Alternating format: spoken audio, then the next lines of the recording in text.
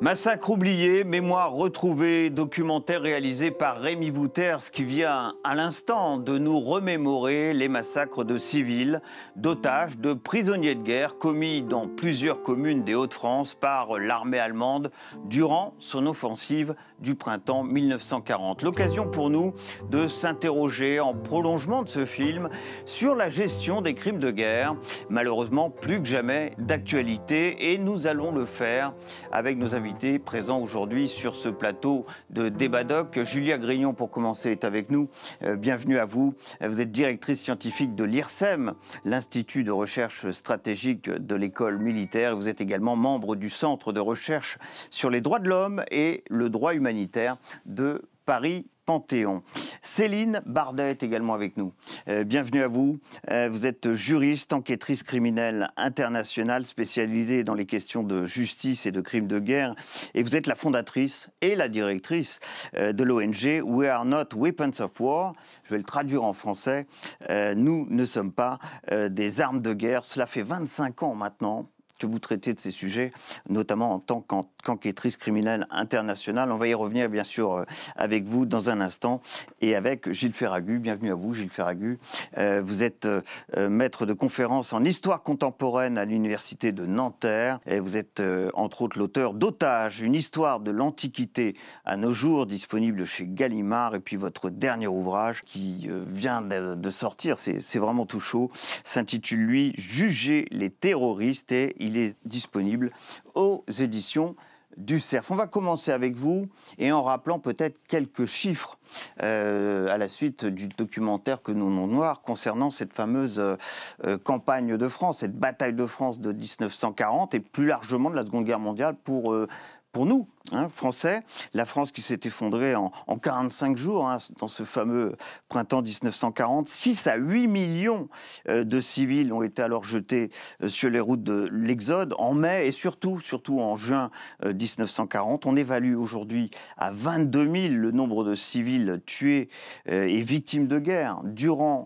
ce printemps 1940, dont bien sûr ceux dont il a été question dans le film que nous venons de voir, et près de 400 000 civils Français ont été tués entre 1939 et 1945. Autrement dit, il a été presque tué deux fois plus de civils durant cette guerre que de militaires français. C'est dire à quel point cette guerre a été sanguinaire pour, euh, pour les, civils. On peut dire euh, que ça a été la Seconde Guerre mondiale qui a été la plus sanguinaire de toutes concernant les, les civils Alors très largement, on peut dire que c'est Dès la, Première Guerre mondiale, on parlait d'une guerre totale, donc une guerre qui fait des civils des cibles à part entière, et entre guillemets la partie la plus fragile d'un pays, celle que l'on peut agresser en priorité. La Seconde Guerre mondiale, bah, les leçons ont été prises et les civils sont ciblés euh, délibérément. En plus, là, par une armée qui rentre dans un territoire et qui rentre aussi dans un paysage mental particulier qui a été créé par une succession de guerres, celle de la Grande Guerre, puis celle, avant celle de 1870, qui arrive avec certaines représentations, certains stéréotypes dont les civils les, seront les victimes. Alors après cette terrible guerre, ce, terrible bilan concernant les, civils pendant cette terrible guerre, euh, le droit humanitaire euh, international euh, s'est renforcé, s'est musclé. Il date, ce droit, les prémices, je crois, c'est dans la deuxième partie du, du, 19e siècle, mais très clairement, il y a un avant et après Seconde Guerre mondiale en, en matière de droit humanitaire. Absolument. En fait, il y, a toujours eu du droit humanitaire dès lors qu'il y a eu des guerres. Euh, déjà dans l'Antiquité, on trouve des règles qu'on trouve encore aujourd'hui. Par exemple, l'interdiction d'empoisonner des sources, c'est une règle qu'on trouvait dans l'Antiquité et qu'on trouve encore aujourd'hui. Mais effectivement, le droit humanitaire contemporain, il prend sa source après la bataille de Solferino en 1859, première convention de Genève 1864. Et effectivement, euh, on parle de l'effroi euh, suscité par la Seconde Guerre mondiale, qui va faire en sorte qu'on va réviser le droit humanitaire qui existait déjà euh, pendant la Seconde Guerre mondiale. Et c'est très important de le dire, il n'y avait aucune convention qui protégeait spécifiquement les civils pendant la Seconde Guerre mondiale. Et donc, euh, en 1949, on va adopter quatre conventions de Genève, trois qui protègent les combattants hors de combat, et une nouvelle convention, une convention qui a vocation à protéger les civils dans les conflits armés. Qui est garant de ces droits humanitaires internationaux? Alors, ce sont les États qui signent euh, les traités internationaux. Et puis ensuite, il y a la mise en œuvre d'une justice qui peut être une justice internationale ou une justice nationale. Donc, par exemple, en France, euh, on a un parquet spécialisé dans la poursuite des crimes contre l'humanité aujourd'hui. Et donc, il y a une responsabilité euh, de la France de poursuivre les crimes qui sont commis dans les conflits armés. Donc, le cadre existe. maintenant, toute la question est de savoir comment est-ce qu'on peut le faire euh, respecter, euh, euh, ce cadre? J'ai d'autres chiffres à, citer, ils sont beaucoup plus actuels malheureusement. le 7 octobre dernier, 1160 morts ont été euh, euh, suite à l'attaque du Hamas euh, dans une partie d'Israël et les kibbutz israéliens qui, étaient proches de la zone de, Gaza. 250 otages ont été pris par le Hamas. Il en resterait aujourd'hui 132 entre les mains du Hamas dont 27 seraient peut-être même d'ores et déjà décédés selon Israël. Et puis à leur côté, évidemment euh, euh, palestinien, avec cette contre-offensive euh, israélienne.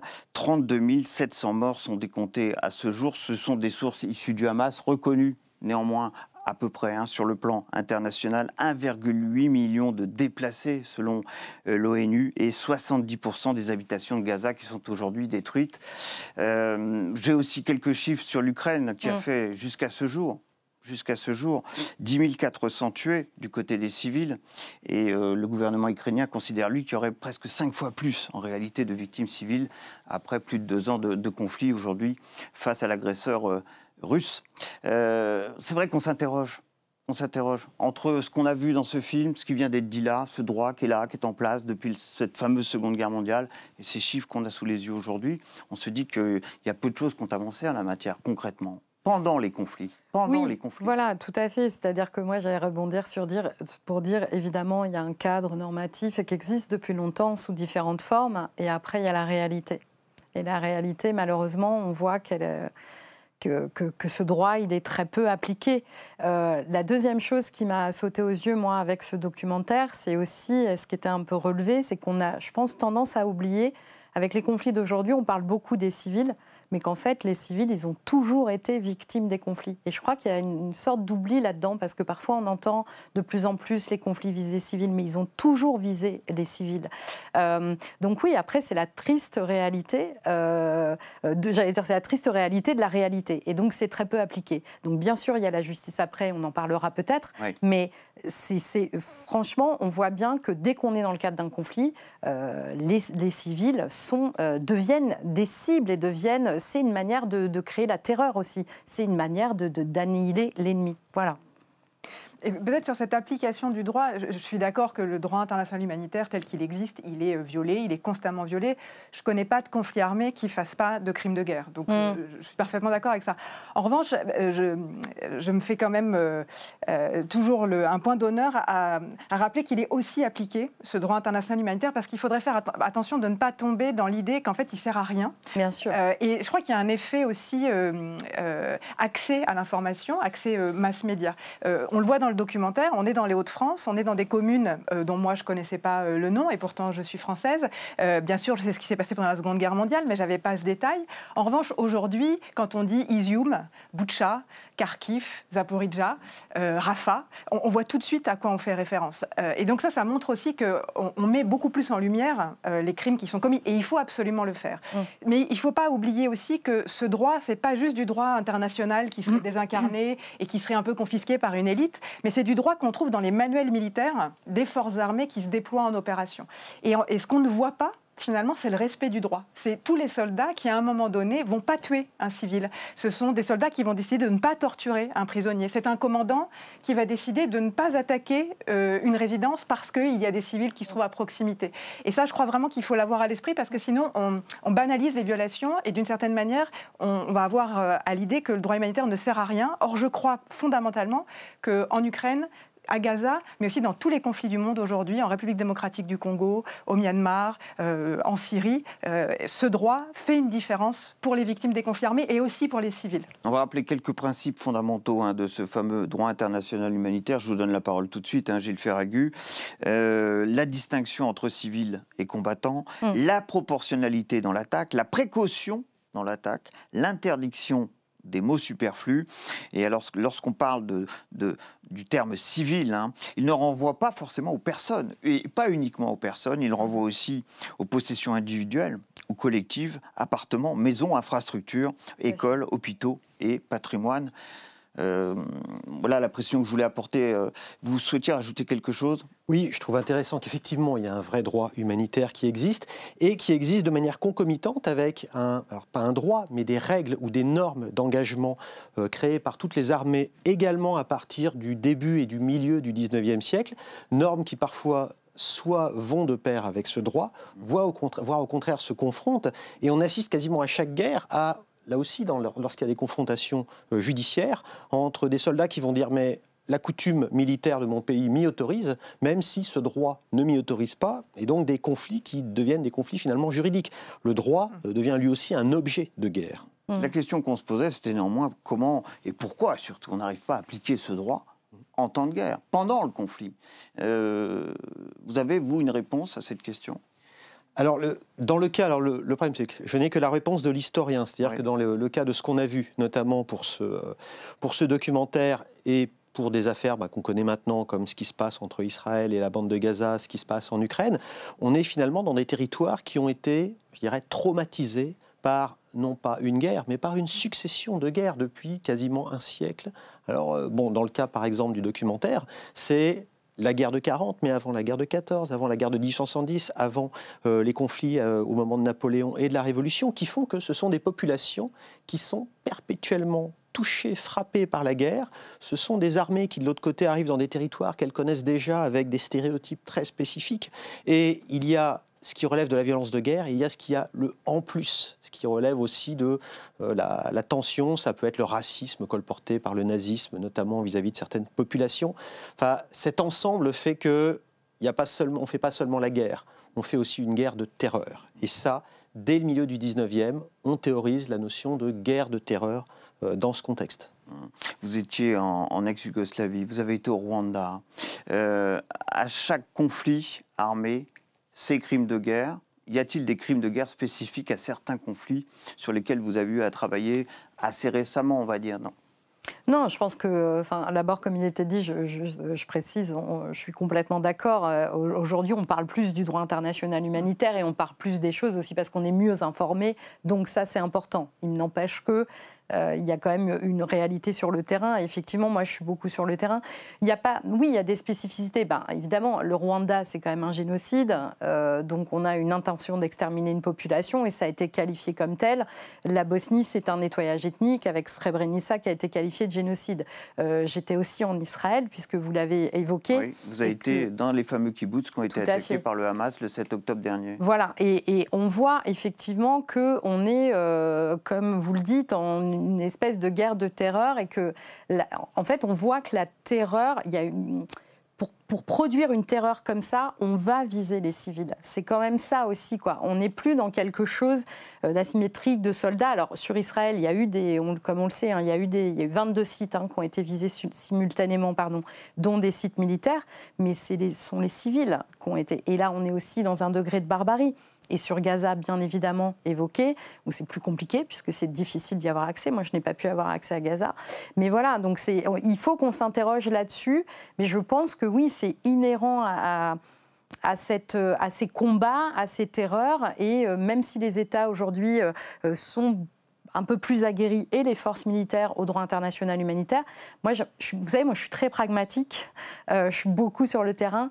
Et en fait, je me dis, bah, de toute façon, à partir du moment où on est dans un conflit, il y a un objet de terreur. Et donc, choix des armes, enfin voilà, je ne suis pas sûre qu'il y ait tellement de réflexion, en fait, au moment où on rentre dans cette violence, malheureusement.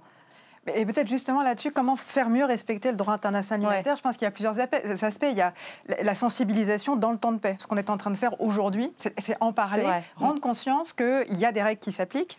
Euh, en parler en temps de paix. Exactement. Bien sûr. Mm. Pour être prêt, euh, bah, voilà, et, pour pas tomber justement dans un narratif euh, qui serait pas celui-là en temps de guerre. Et puis aussi mieux encadrer. On, le voit dans le dans le reportage, dans le documentaire, où il y a quelqu'un qui dit qu'il y avait un effet de panique. Et du coup, ils ne savaient pas comment réagir. Et donc, du coup, ils ont tué des civils. Et ça, former former les, militaires, former les forces armées, mieux encadrer, avoir un système disciplinaire dès le temps de paix qui est euh, bien verrouillé, ça permet justement qu'on est euh, prêt à faire face à toute situation, à ne pas sombrer dans la panique et donc à ne pas sombrer dans, ces éléments-là. Et l'autre aspect, c'est aussi, je crois, lutter contre l'impunité, qui est le pendant donc c'est la répression des crimes qui sont commis.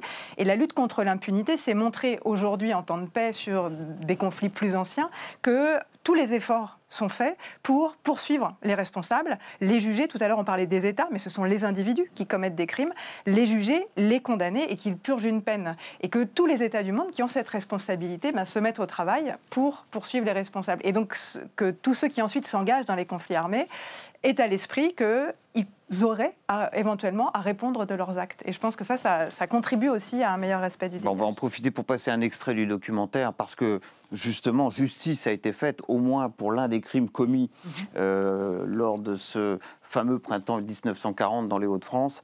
Extrait.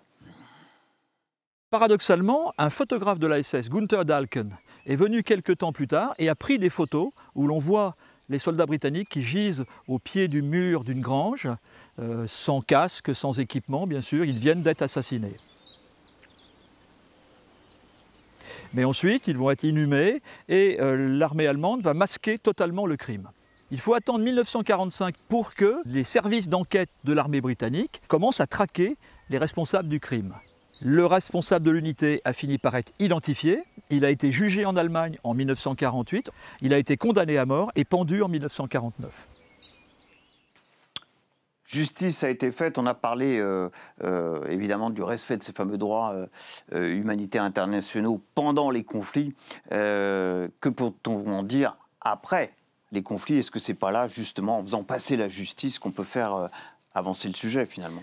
Alors tout à fait, pour rebondir à ce que disait tout à l'heure ma collègue et ce qu'on ce qu'on vient de voir dans, l'extrait, effectivement, il y a des règles d'engagement. Et théoriquement, toutes les armées ont des règles d'engagement qui font qu'on essaye de limiter le, le, côté criminel, entre guillemets. Et en même temps, on le voit, alors dans le cas par exemple du nazisme, bah, les règles d'engagement sont contaminées par l'idéologie et par la perception de l'adversaire. Mais ce qui se passe après, c'est effectivement que euh, les Anglais vont traquer les responsables de ce massacre avec cet autre, dirais, cet autre questionnement qu'on peut avoir, cette justice est la justice des vainqueurs. Et on pourrait trouver aussi, il y en a eu, on peut citer par exemple le cas euh, de ce qu'on va appeler, ça reste un débat franco-italien, les maroquinades. Euh, en Italie. Euh, Pendant la campagne d'Italie de, 1944, 43, pardon. 43. Et de même pour, pour, la Normandie, il y a des, les armées font des crimes. Enfin, il y a des crimes de guerre dans toutes les armées, quel que soit le, le statut de vainqueur ou de vaincu. Qu'en est-il de cette justice et quels sont finalement les écarts entre vainqueur et vaincu face à la justice? On parlait de, faits de, de violence sexuelle, hein, par exemple, euh, qui serait venu du côté français contre la population italienne, hein, dans, mhm. l'exemple que vous venez mmh. de, citer. Euh, la justice internationale, est-ce que c'est euh, le moyen aujourd'hui euh, de faire payer les crimes de guerre qui ont été commis pendant les conflits et de le faire payer après les conflits? Et là, on a le sentiment tout de même qu'on a, euh, on a beaucoup avancé sur ce terrain, non? Alors, non, mais bien sûr qu'on a avancé parce qu'avec le développement du droit international humanitaire qui date, comme on l'a rappelé tout à l'heure, d'un certain temps, on a eu ensuite le développement du droit international pénal et de ces institutions de justice qui sont évidemment extrêmement importantes, euh, qui reste quand même, très honnêtement, un petit, une petite goutte euh, dans l'océan. Ensuite, il ne faut pas oublier que euh, la notion de justice, il faut aussi, je crois, toujours la regarder de façon très large. Moi, je dis ça, je travaille vraiment sur les questions pénales internationales. Néanmoins, il y a aussi plein d'autres formes de justice. Donc la mémoire, elle est importante. Reconnaître et étayer les faits et pour des, victimes ou des familles de victimes, c'est extrêmement important. Euh, donc il y a plein de justice transitionnelle, etc. Donc il y a plein d'outils aujourd'hui, euh, mais elle reste, euh, elle reste difficile. Elle, comme vous le disiez, il faut identifier les auteurs, il faut attraper, si je puis dire, ces auteurs. On parle de la, la justice après, après la guerre, mais par exemple, ce qui est intéressant aussi, ce qui se passe aujourd'hui en Ukraine, c'est qu'on a un mhm. processus de justice pendant le conflit ukrainien sur lequel je ne sais pas du tout si c'est une bonne idée. De mon point de vue, ça n'en est pas une, mais c'est un autre débat. Mais on voit que les choses se passent, on voit, et moi je trouve ça presque paradoxal, je ne sais pas comment, mais on est dans un conflit terrible, l'Ukraine, absolument horrible. Et en même temps, on a un État qui dit on va répondre, c'est ce qu'a dit le président Zelensky tout de suite, il a gardé ça, on va se défendre, on va résister, on ne va pas donner, et on va répondre avec la justice. Et il met ça en place pendant le conflit, ce qui n'apporte pas forcément une sérénité de la justice. Mais c'est pour dire que on voit qu'il y a des volontés des États de brandir ça, cette question de justice. Et une dernière petite chose que je voulais dire, c'est sur les militaires. Oh, je vous en prie.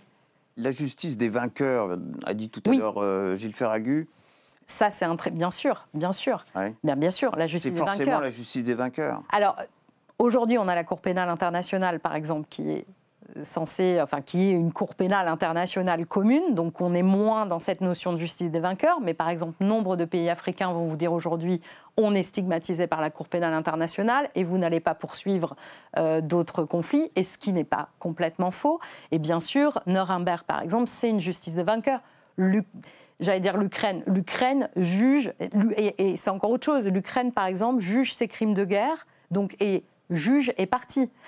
Tout ça, c'est compliqué. Donc oui, c'est aussi la question. C'est quoi une justice totalement indépendante? Effectivement, ça, reste euh, en débat.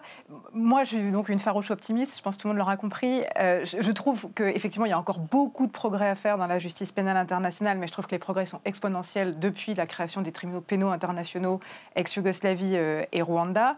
et je pense que si on veut aussi développer cette justice dans le respect des garanties judiciaires internationalement reconnues, ça prend du temps.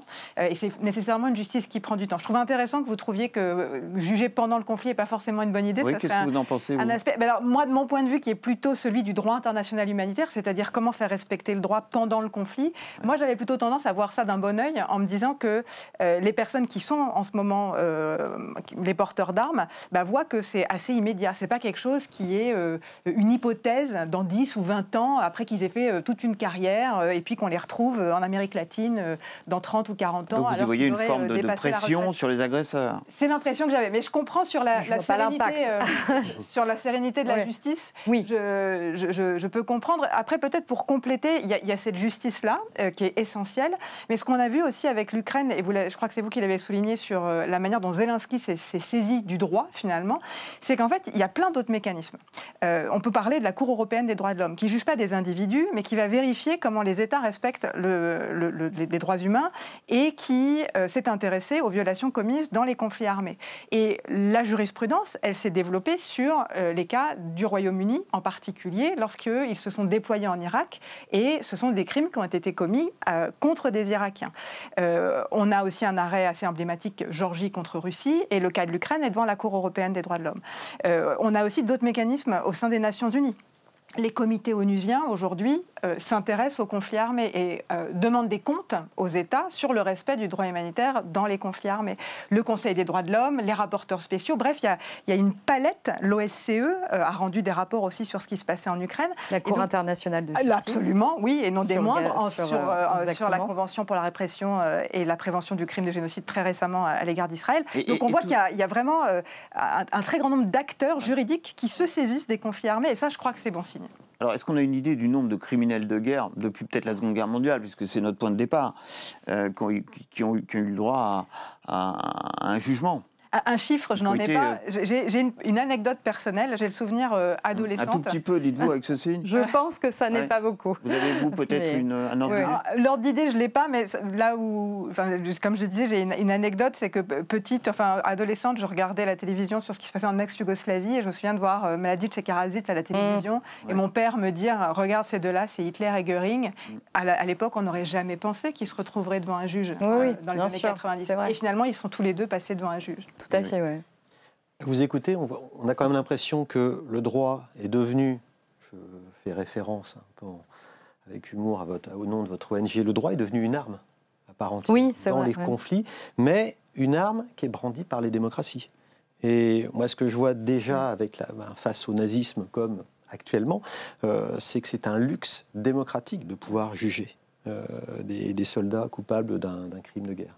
Et la, limite, elle est aussi dans la manière dont euh, finalement d'autres États vont penser la guerre. Quelle est la, place de ces États finalement dans le, système et comment ils arrivent à échapper à ce type ou comment ils arrivent à justifier, légitimer la violence de guerre? Non mais c'est très très juste, hein. c'est vraiment très juste. En fait, d'une part c'est devenu une arme, mais c'est celle des démocraties. Après, j'ai envie de dire, c'est celle de l'état de droit et ça pose toute la question de qu'est-ce qu'on fait ou comment, comment on interagit, comment on réagit, je ne sais pas, avec euh, un certain nombre de pays qui, par ailleurs, je pense, deviennent de plus en plus importants euh, euh, et qui ne, rentrent pas plus dans ce système-là. donc voilà, et, moi aussi, je, suis optimiste, mais néanmoins, la réalité, c'est que c'est très compliqué, par exemple, de poursuivre. On parlait des chiffres, je pense qu'il y en a très peu. C'est pour ça que c'est important d'utiliser d'autres moyens, qu'il y a évidemment des acteurs juridiques, qu'on en parle beaucoup plus et c'est important. Mais on parlait, moi j'ai travaillé très longtemps en Bosnie au tribunal pénal international il faut se rappeler que le tribunal pénal international pour l'ex-Yougoslavie, dans son mandat, avait inscrit euh, qui devait contribuer aussi au travail de réconciliation. Et euh, ce qui a été très difficile, mais bien sûr que c'est important, ça a été important pour les Bosniens de voir Mladic euh, et Karadzic, mais comment on reconstruit les sociétés derrière ça, comment on fait fonctionner la mémoire, c'est tout ça aussi, parce que des civils sont des familles. Moi, j'ai mon arrière-grand-père qui est tout à fait concerné par le sujet de ce documentaire. Donc, c'est comment on reconstruit tout ça pour euh, essayer de, oui, de penser qu'il y, euh, y, a des réponses aussi et qu'on peut faire des réponses. Mais sur la question des États démocratiques, je suis complètement d'accord. Et ça, c'est une vraie réflexion, effectivement. C'est pour ça d'ailleurs que notamment l'armée française embarque dès à présent des conseillers juridiques dans toutes ces opérations militaires euh, qui servent justement à garantir, à assurer, à vérifier les règles d'engagement. Tous les États ne le font pas. Certains ne le font pas. Bien sûr, tout à fait. Dernier engagement militaire français, c'était en Afrique, c'était au Mali. Oui, tout à fait. Mm. Mm. Oui, et, alors après, il faudrait définir ce que c'est qu'une démocratie. Euh, je, pense par exemple à la Chine, euh, où il y a trois guerres, euh, selon la Chine, et l'une des trois guerres, c'est la guerre du droit. Donc effectivement, toutes les, nations se saisissent du droit et l'instrumentalisent. Et ça, je crois que là, c'est pas l'historien que je vais l'apprendre, mais je pense que ça existe depuis très longtemps. Et effectivement, aujourd'hui, ça trouve une, une résonance particulière. Est-ce qu'il y a des nouvelles formes de crise, de crimes de guerre, ou en tout cas reconnues comme telles euh, face au, droit humanitaire international alors, je, le viol en temps de guerre, par exemple, ça c'est un sujet que vous connaissez bien. Oui, alors euh, sa prise en compte est récente. Alors sa prise, en compte, des Nations Unies, sa prise en compte est récente en raison de l'évolution jurisprudentielle qui a dû avoir lieu pour distinguer le viol des violences sexuelles, mais là je ne m'inventerai pas sur ce sujet que vous connaissez euh, beaucoup mieux que moi. le, fait est aujourd'hui que c'est reconnu comme, euh, Bien sûr. Euh, comme un crime de guerre. Oui. Et une arme de guerre aussi, le viol. Oui, absolument. Alors, mais je crois que le viol a existé depuis toujours dans les conflits armés. Là aussi, c'est quelque chose dont on parle beaucoup plus et c'est très bien de le faire. Mais je crois que ça, ça, a toujours existé. Et pour répondre à votre question, je peux prendre pour exemple une observation qu'on a faite avec une équipe de recherche euh, de ce qui se passait en Ukraine au moment de l'invasion euh, de la Russie en 2022.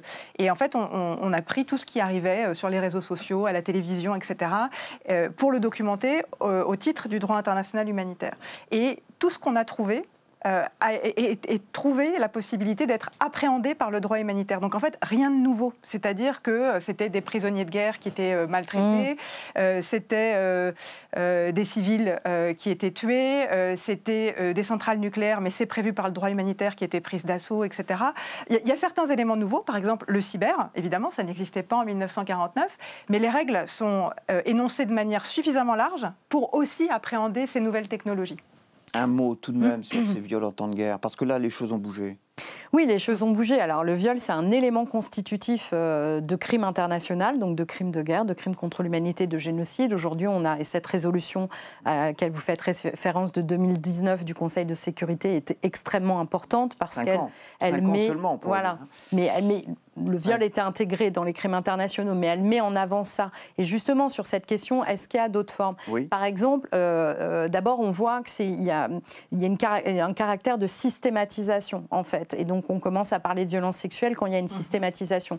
Mais je vois aussi sur des zones de crise, aujourd'hui, c'est très difficile, mais, je suis d'accord avec vous aussi, le droit international humanitaire, il couvre tout ça. Je pense qu'il n'y a pas de problème de cadre mhm. normatif, en fait, aujourd'hui. Mais euh, la question, comment on regarde les actions terroristes, par exemple, est-ce qu'on les qualifie de terrorisme euh, Et euh, je pensais aux migrations, aux flux migratoires, où énormément de violations sont systématisées, dont les violences sexuelles, donc sont caractéristiques de crimes internationaux aussi. Ça sera malheureusement le mot de la fin.